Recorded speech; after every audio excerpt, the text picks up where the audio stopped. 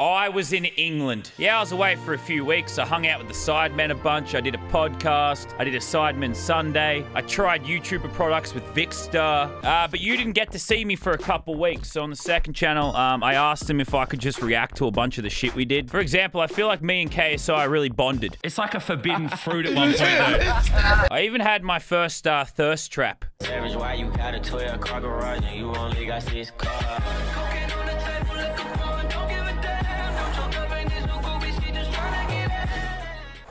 I don't know about you, but that gets me rock hard.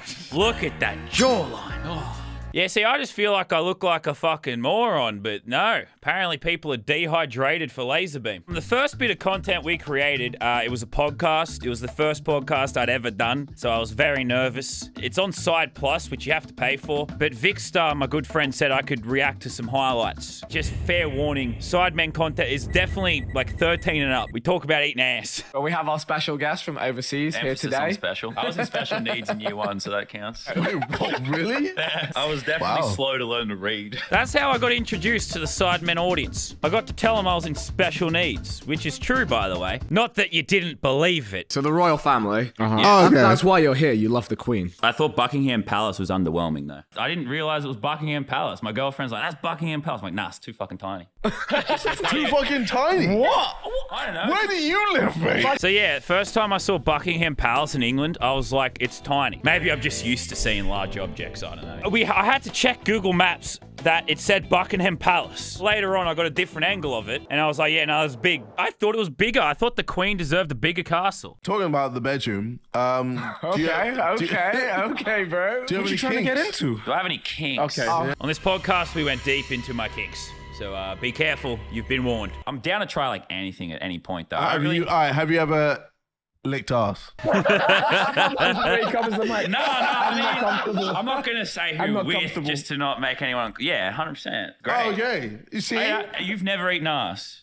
I'm not involved. Oh, that's fucking lame, dude. I couldn't believe that they've never tried that forbidden fruit. It's like a forbidden fruit at one point, though.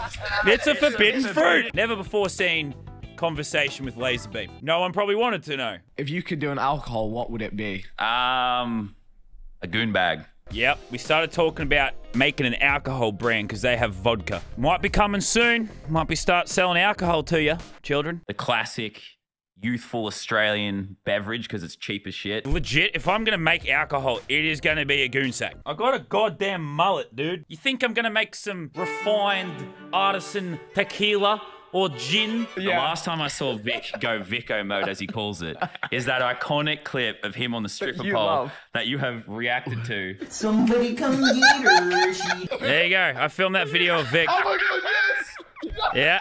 And, and KSI always reacts to it. Every part of that iconic clip was in the room together. The guy in it, the guy filming it, and the guy reacting to it. It was lovely to see. I've been friends with Vic for years, but he's the nicest guy. He, he was like my full tour guide around England. Being in the UK with you is like literally being with the Queen, bro. It's like every single place we go, it's like Vic stuff. Like someone just threw their phone at me the other day, just taking a photo of him. All right, that's another one. Yeah, I was walking around with Vic, and Vic is literally like the queen in England. And someone just kind of like threw their phone at me and expected me to take a picture. That's not me being like, oh, I'm so special, I'm famous, why don't you know who I am, or something like that. It was just like, just ask me nicely. Okay, so that was my introduction to the Sidemen. Um, I was very nervous for the podcast, but apparently everyone loved it. Maybe I can become the eighth Sidemen. They're making a lot of money, so I'll take 10%. But yeah, then we went on to the Sidemen family feud shoot. This is where all the thirst traps came from. What is your name? Uh, it's Lannan. Lannan. got you, buddy. I got Lannan. Yeah, yeah, yeah.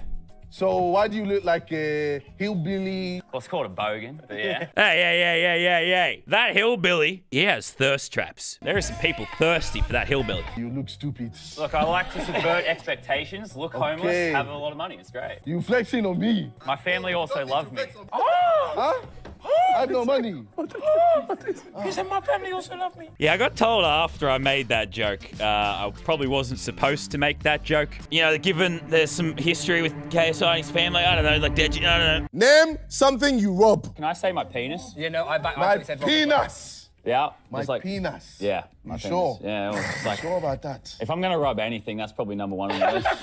So I go up for my turn to like answer a question. Can I say my penis? First thing I thought of. Now, there was some behind the scenes. I've seen a lot, man. You've seen my balls. I didn't get I'll show you my balls now. Is that? I don't really I mean, I, I don't want to see them, but um, I like if I ever do feel like seeing them, I'll He showed me his balls. They look, they look smooth, bro. When I was in England, I saw one of the sideman's balls. Just a lot of, a lot of bonding going on. Why do you look like uh, Dr. Disrespect? Yeah, I get called uh, budget doctor, doctor disrespect a lot, and honestly, that's just an honor. He's a man.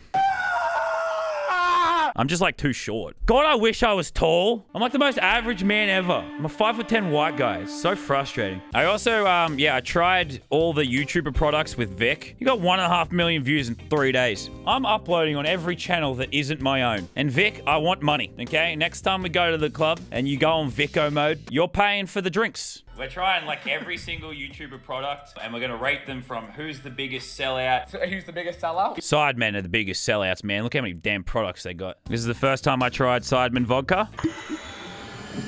Yeah. That's good. Didn't even flinch, by the way. That's some smooth vodka. But that's, yeah, you know, their vodka brand is inspiring me to make my goon bags. Laser Goon, coming to you soon. This is me trying Sidemen's burger for the first time. I need to get you some napkins. Look at that. Look at that man are- biting that mm. burger. It definitely tastes good. As far as chicken burger, I'd give a solid eight. I'm not. I'm giving you honest reviews. Yeah, you can't buy my opinions. Brands have offered me many six figures to play their shitty mobile games, but you can't buy my opinions. No, I like their burger a lot, actually. It was slightly dry, but I just attribute that to the fact that it's Uber Eats. But the actual flavor was fantastic. Yeah, this is the first prime taste test. I'm sniffing it. You got to smell your drinks before you drink. All right. Right, let's try it. Here we go. That go. tastes really good, but I don't believe it's healthy. That was my first impressions. They claim it's like low calories and healthy and good for you. There's no way it's good for you. This was my favorite flavor. a real flavour, but I love it. There isn't a blue raspberry. Oh fuck, that slaps. The blue tastes the best if you're wondering. All right, now I got to try Beast Bar for the first time. Because you Is know this what? dark chocolate or milk chocolate? Fine, but I don't. I think there's better options. See, I told you, I give honest reviews. I didn't like it initially because I had so much prime in my system. The flavors were mixing up, so I feel a little bit bad. It did grow on me, and I think it's a really good chocolate bar. But yeah, there's that was like a very funny video, so you should watch the whole thing. I had the absolute time of my life. Me being able to go see all my friends again, be surrounded by such cool people. It was very nourishing for my brain. I felt really at home. I might I'm thinking about just going to London for 6 months, honestly. I'm really going to try and become a sideman so I can take 10% of all the money they're making. I just loved that trip so much and I want to share some of the funny little moments. It's a bit scuffed, but hopefully I'm back in my content soon. Maybe it's in Australia, maybe it's in England.